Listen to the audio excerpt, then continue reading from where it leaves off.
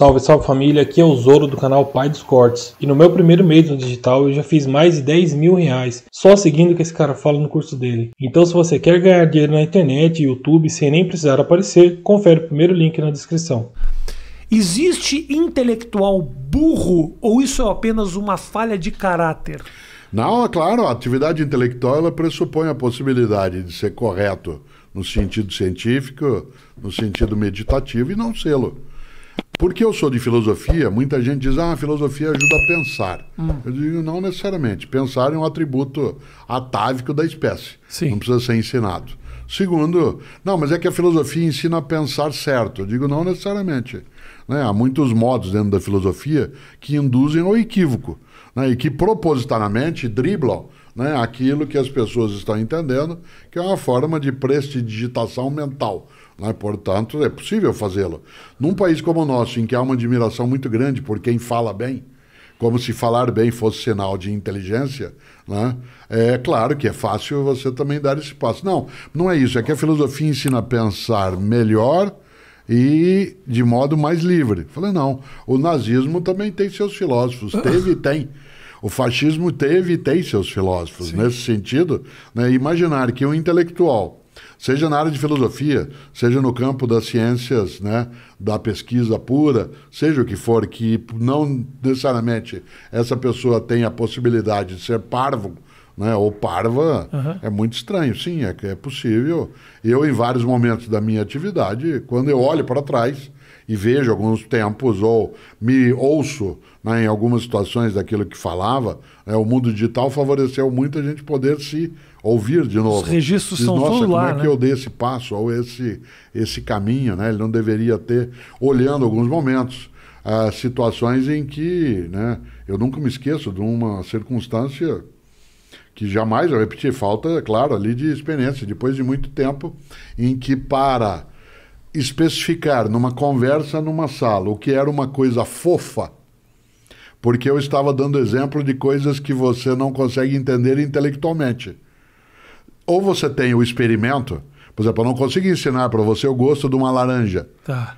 Certo? Uhum. Você dirá, não, mas é parecido com o quê? É, é, certo? É. Ou tem a experiência empírica, né, concreta, e aí é uma redundância, mas é necessário, ou não tem como. E eu fui explicar o que, que é uma coisa fofa. Né? Ou você faz o gesto, ou você entrega, mas o gesto não especifica. E ao fazê-lo, eu segurei no braço de uma pessoa que estava à minha frente. Por exemplo, né, você, você tem um braço fofo. Pega na barriga da pessoa. Isso. Você é fofo. Mas foi absoluta. Era a primeira pessoa que estava na minha frente. Uhum. Não, não havia nenhuma intenção. Aquilo produziu nela um desconforto tão grande. Era alguém com quem eu tinha, na pessoa.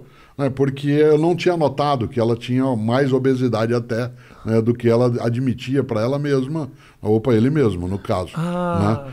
E aquilo ofendeu a pessoa. como se você claro, tivesse dizendo... Aquilo a ofendeu. Aquilo, da minha parte, foi uma desatenção. Né? Eu não ter prestado atenção. Porque você poderia dizer assim, eu não notei que você era gordo. o que é pior ainda. Né? E eu falei sem pensar. Falei, então não faça isso. Então, é claro que um intelectual pode sim cometer disparates, né? Pode ser capaz de coisas que não deve na prática né? e na escrita.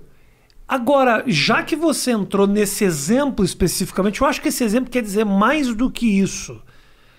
Isso acontece geralmente na comunicação em todos os cantos você fala algo sem a intenção da ofensa, aquilo eu já ofensa, eu já entrei no modo Sim. no modo cortela de, de verbalizar. Ofensa. Ofensa isso, isso. e essa pessoa, você não tem o intuito de ofender, essa pessoa se ofende.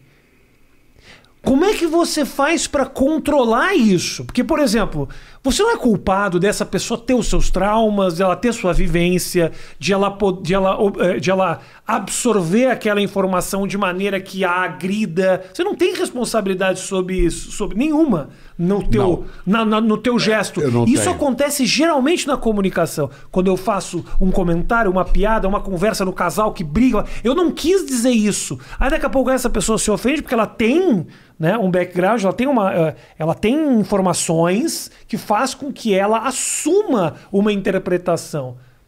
E eu sou obrigado agora a, abraçar essa responsabilidade e, Não, e mas pedir você, desculpa. você que se comunica, e eu também, em público, Hum. portanto, é diferente de uma conversa. Mas acontece nas conversas Acontece, também. claro, também. Mas na conversa você normalmente consegue refazer, porque você vai ter uma convivência com a pessoa, Sim. em tese que você vai né, re- reatar, né, juntar os caquinhos Sim. e colá-los outra vez. É, você não tem que se subordinar a isso, mas tem que levar em conta. Uhum. Eu tenho de levar em conta, eu não tenho que me subordinar, eu não tenho que me calar, né, eu não preciso silenciar aquilo que eu vou fazer, mas eu preciso levar em conta que eu posso estar eh, mexendo com suscetibilidades que, embora eu não seja responsável por ela ser daquele modo, eu posso machucá-la. Mas isso- Se eu puder evitar fazer isso, né, há coisas que não estão na minha consciência. Quando eu vou falar sobre um tema determinado, quando eu vou escrever sobre um assunto que eu sei que ele tem arestas, Aham. eu tenho que redobrar meu cuidado. Cê- mas aí eu te pergunto, Cortella, desculpa te interromper. Isso não acaba te tolindo, te não, cerceando? não me torna mais criativo. Eu vou Ok. lembrar algo, é, o que eu vou falar é aquilo que se chama de argumento de autoridade por causa da idade. Tá bom. Não tem a ver. né? Você não vivenciou, né? você pegou uma parte, você nasceu durante a ditadura militar Nasci. empresarial no Brasil Isso. e não pegou a censura daquele momento. Não. Governamental, não. É. Não. A censura que foi feita naquele momento, ela não impediu a criatividade. Sim. Se você observar, a expressão musical, a expressão do teatro, a expressão né, daquilo que é a comunicação, ela teve que encontrar outros caminhos nos quais ela redobrou a inteligência. Sim. Haja vista que nós somos capazes né, de rememorar algumas das peças de teatro, algumas das novelas que foram produzidas naquele momento. Não que a censura ajude a criatividade, ela obriga mais do que ajudar. Por isso, é, não é que eu, Cortella, queira silenciar o tema porque alguém se fere, mas eu preciso redobrar o meu esforço para eu não dar um passo desnecessário. Meu lema no campo da comunicação, e talvez né, isso possa parecer até inocente, mas é não ria de mim, ria comigo. Perfeito. Não ria de mim, ria comigo. A gozação na escola, aquilo que hoje, de modo estranho, é chamado de bullying, porque existe o verbo bulir em português, né? Uhum. Não precisa usar o inglês. Né? Existe o verbo bullying? Sim, bulir. Você não vai bulir nisso, menino. Macaco que bule muito que é chumbo, né? Claro, na minha infância eu li Monteiro Lobato. Bulir. Bulir. Eu li Monteiro Lobato. O primeiro livro inteiro que eu li na minha vida foi Rei Nações de Narizinho, que era proibida a leitura, porque minha família é tradição católica e os livros do Monteiro Lobato entravam no Index Librorum Prohibitorum. Na minha família também era proibido, mas é por causa do narizinho. Então, Porque todos os judeus Claro, narigudos, a gente era. pro- Qualquer coisa que tivesse narizinho, a gente era então, e, proibido. de aí, e narizinho ali era inho, né? É verdade. Certo? Ex- Portanto, exatamente. se fosse Cyrano de Bergerac, então jamais você poderia nem chegar perto. né? Ora, quando a gente olha aquilo que né, é a possibilidade né, de bulir, está lá no Monteiro Lobato.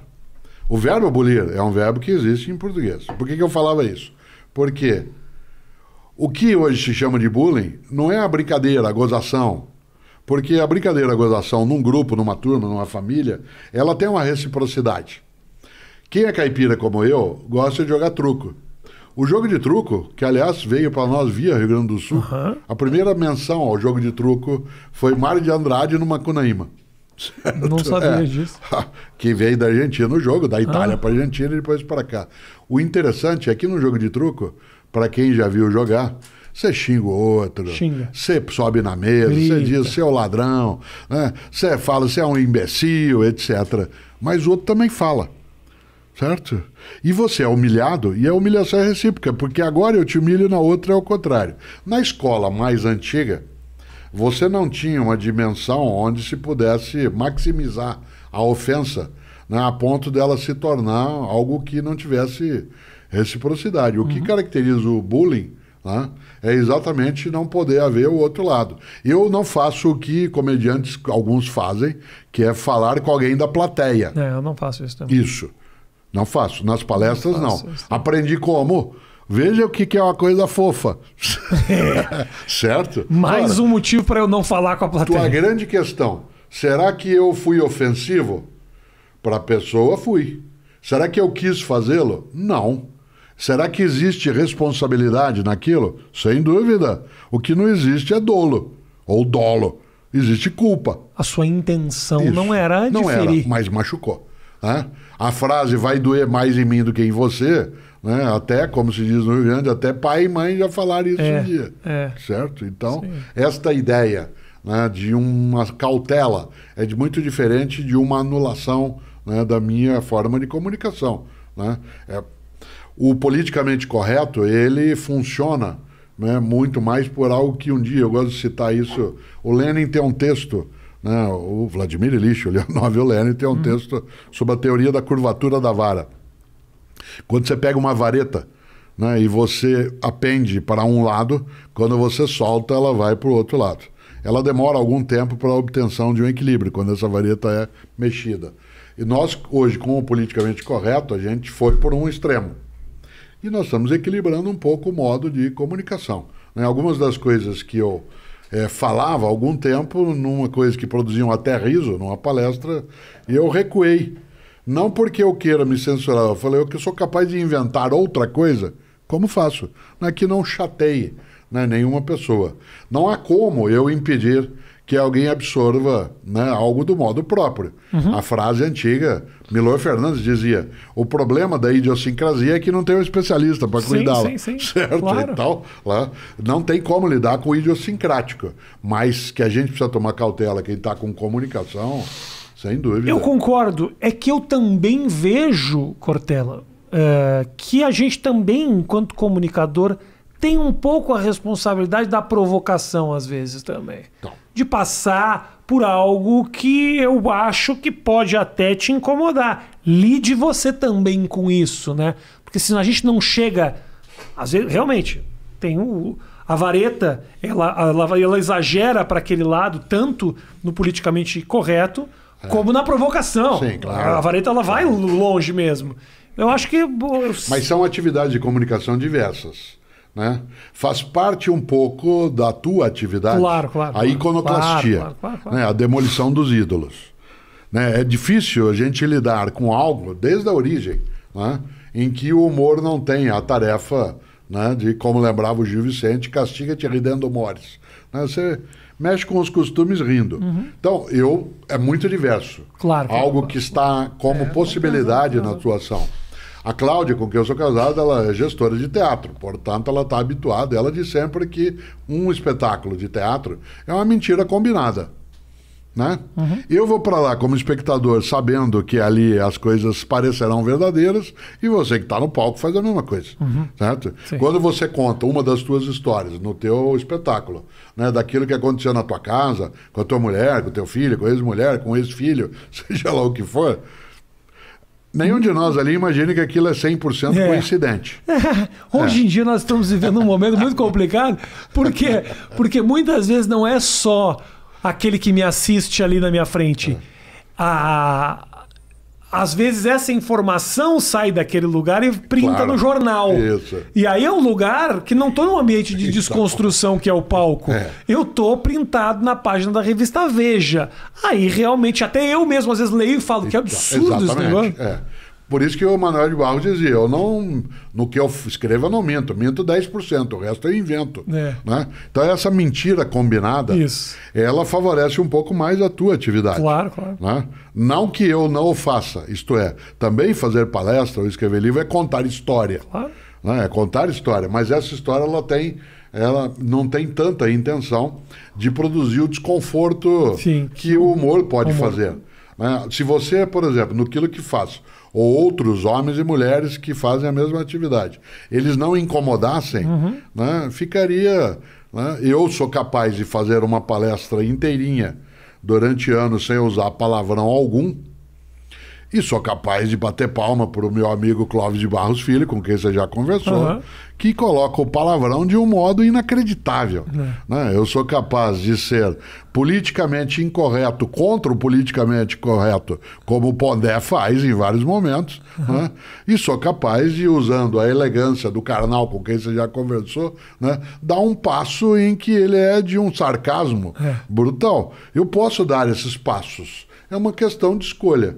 Espera-se espera-se de alguém como Clóvis uma sinceridade e uma autenticidade que se o palavrão não vier, a gente se chateia, certo? Portanto, né, é diferente o modo né, de presença.